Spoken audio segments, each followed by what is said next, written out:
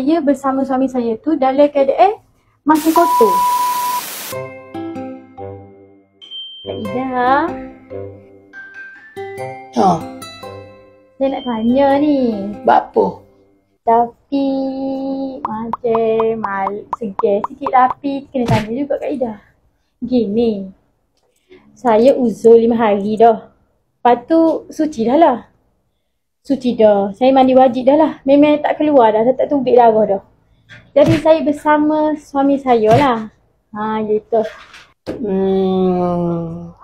Kita kata ni gini lah payah Dia pun lo gak gaduh ya, Tapi awak pun tanggungjawab tu Dia gini Saya pun ada keliru benda gini Dia kadang-kadang kita ni Putuh Lepas tu ada mari pulak Dia bersih sebenarnya memang ada Benda-benda gini ni banyak kita kena belajar Jadi Kak Ida, saya bersama suami saya tu dalam keadaan masih kotor. Gitu. Hukum dia kena Kak Ida apa tu?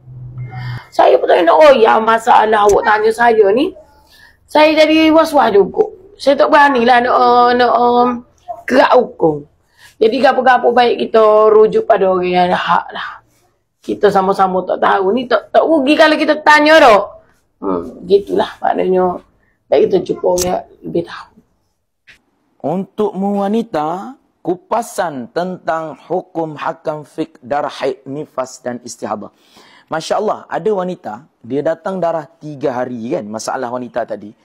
Kan, lepas tu tak datang darah. Tiba-tiba datang pula. Adakah darah yang masa tak datang darah itu dikira haid? Yes, hukumnya dikira haid. Walaupun tak ada darah. Yang penting, kurang daripada 15 hari. Isunya, dia mana nak tahu kan? Dia dah bersama suami dan sebagainya. Ya.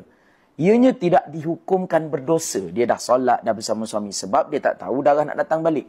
Kecuali ada hal-hal tertentu. Ha, nak tahu? Dalam buku ni, kami cerita detail tau.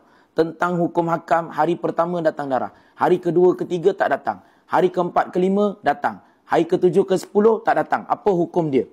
Ibu-ibu tuan-tuan, mana nak cari buku yang fully warna datangkan contoh macam ni tau.